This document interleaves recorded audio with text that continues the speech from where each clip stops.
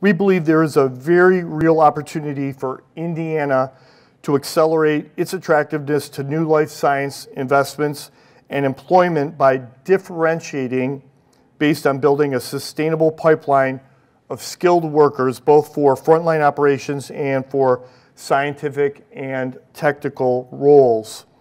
I'd find a way to increase the talent pool exponentially here uh, in Indiana because this is a place where we would like to do even more uh, Catalent work beyond Bloomington.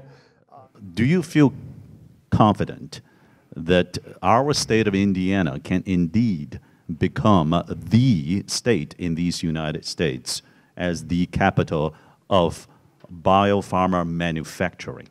I'm, I'm looking at the state from a macro perspective and how can the state compete with other states to outcompete um, and, and, and create Indiana as a destination that you can do better and grow faster and be more innovative because you're located in Indiana. How can we work together even more alongside IEDC and the governor's team, alongside the private sector? What would be your messages for the strategies and actions of our universities. There's a relationship that's like 80% uh, likelihood they stay in the state if they have a good internship their sophomore or junior year, right? And so we need to partner together to keep all these smart kids in this state working for these great companies that are represented in this room.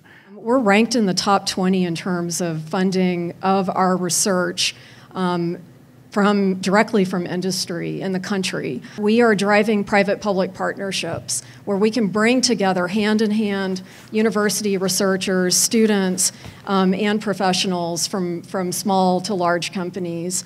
I believe that these are areas where we can partner, we can partner together with the state in order to make that advance. Think about the great societal needs and how do we bring uh, universities together with industry um, in order to accomplish those overarching objectives.